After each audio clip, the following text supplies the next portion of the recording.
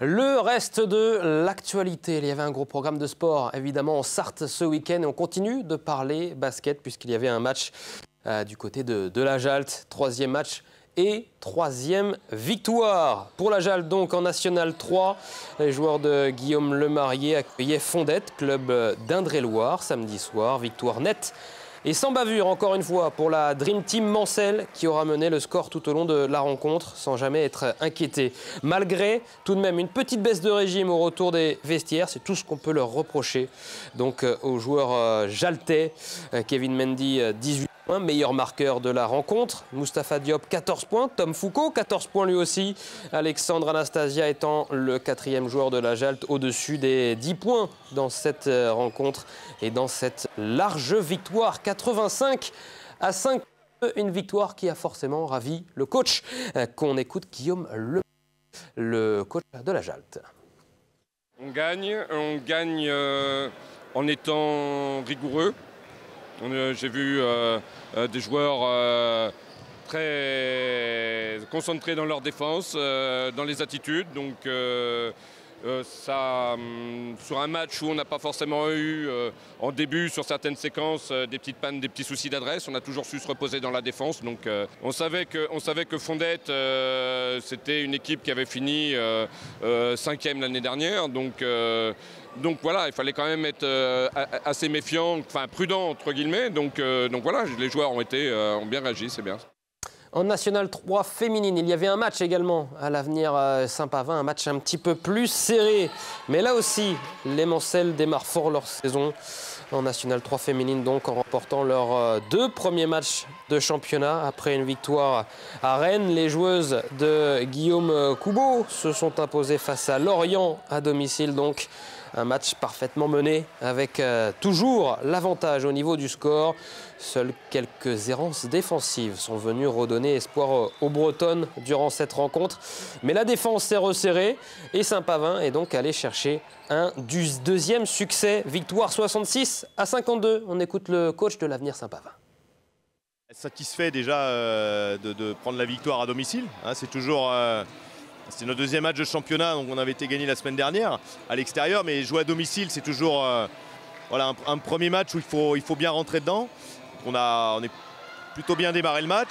Euh, on a fait une première mi-temps solide. On a eu un, petit moment de relâchement là, euh, à la fin du deuxième quart-temps qui, je pense, a été un, petit peu le tournant du match parce qu'on était à plus 13 à ce moment-là et on les a laissés revenir. Donc il a fallu, fallu qu'on cravache jusqu'à la fin. Enfin, c'est une belle équipe, c'est une équipe qui a, qui a de l'expérience, qui, voilà, qui, se partagent bien le ballon. on a pris 52 points, donc défensivement, il y a eu, des choses bien. On n'a pas toujours été euh, régulier dans ce qu'on a voulu faire, mais je dirais que pour un premier match, euh, voilà, c'est une, une bonne chose, bonne chose de prise.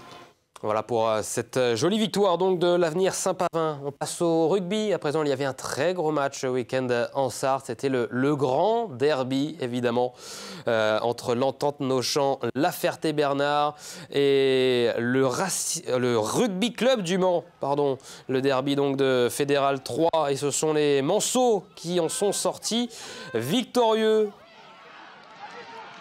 de Loïc Coudray qui mène de, 3 points, mais Yann Boulaya et ses joueurs corrigent le tir et les pertes de balles, notamment en deuxième période, pour aller donc chercher la victoire 24 à 20 devant 400 spectateurs. Voilà pour ce premier derby de la saison. Il y en aura un autre, évidemment, euh, en deuxième partie euh, de saison en 2025. Et puis on termine euh, ce reste de l'actualité par un mot, évidemment, sur les 24 heures euh, camion. C'était euh, l'un des grands moments de sport du week-end en Sarthe sur euh, le circuit Bugatti et le duel tant attendu entre le Sartois Thomas Robineau et Théo Calvé a tenu toutes ses promesses. Ils se sont rendus coup pour coup dans les différentes courses, comptant notamment pour le championnat de France. Le Sartois remporte la première course, le Haut-Garonnais remporte la deuxième dans la nuit, puis la troisième course le dimanche matin avant que Thomas Robineau Bino remporte euh, la quatrième et dernière course de ce week-end. Théo Calvé remporte euh, donc au classement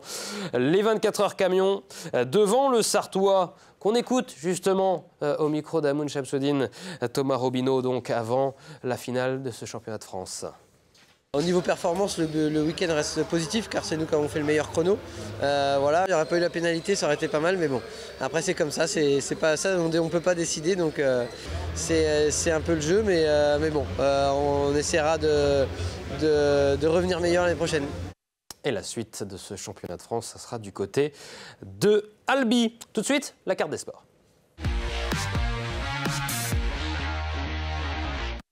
La carte des sports à présent. On va se diriger un petit peu partout en Sarthe. Il y a un joli programme à suivre évidemment euh, ce week-end. Euh, on ira à Conéré, euh, à Étival, à Alonne, à Saint-Calais et même à La Quinte avec un tournoi de pétanque. On en parle dans, un instant.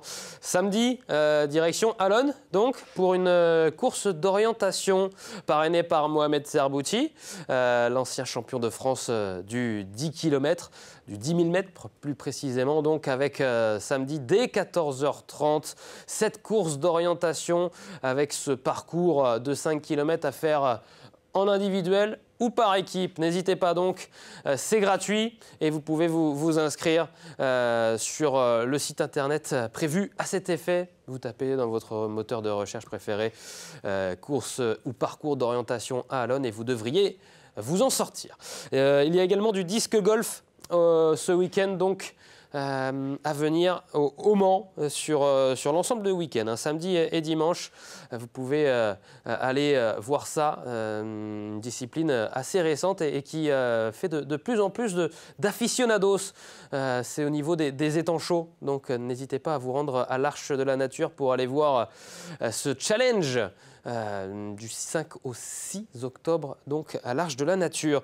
Dimanche, il y aura du cyclisme à Conéré, 54e édition de Paris-Conéré, course euh, élite nationale, le plus haut niveau du cyclisme amateur euh, français. Il y aura peut-être même certains coureurs professionnels qui vont se glisser dans la start list. Vous avez également le, la course d'attente, le prix Narcisse et Rivaux, donc avant l'arrivée depuis Paris eh bien, des, élites. Rendez-vous à Conéré à partir de, 12h30 pour le début des festivités.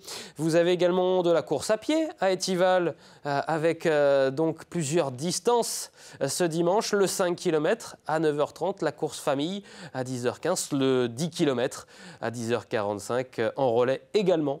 Vous pouvez encore vous inscrire et je vais pas tarder à le faire d'ailleurs, à savoir si on fera le 5 ou le 10 km avec Amoun Shamsuddin. On va y réfléchir et on va s'inscrire.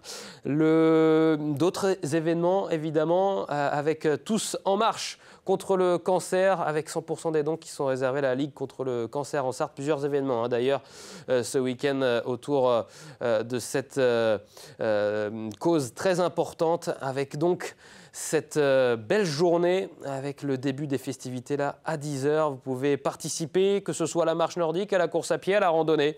Et vous pouvez là aussi vous, inscrire. Il y a même de la randonnée en famille à partir de, 14h30.